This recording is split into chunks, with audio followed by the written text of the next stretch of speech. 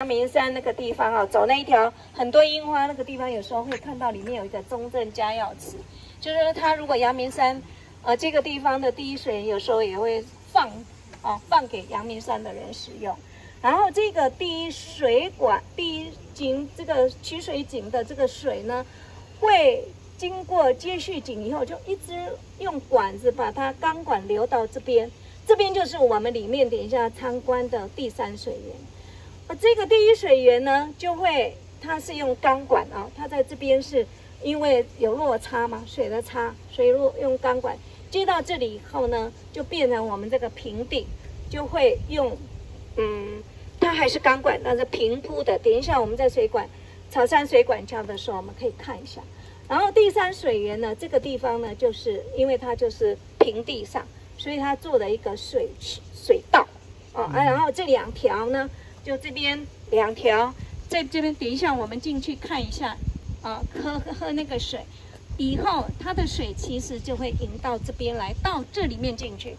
这个地方叫做什么？进来这个地方叫联络井。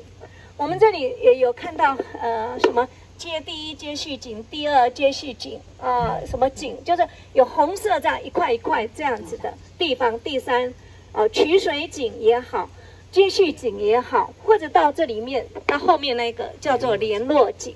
然后联络井以后就走的这一段呢，其实就是我们讲的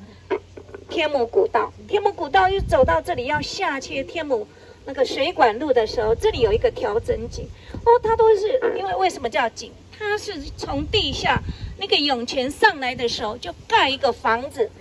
用当地的安山岩。就把它盖一个，把那个水源保保护好，然后盖一个房子给它住，这样子才不会让它有受到污染。所以每一个什么它都叫井哦，取入水源取入井啊，然后接续井，然后再来到第二接续井，到三下面来又我们第三水源的取入井，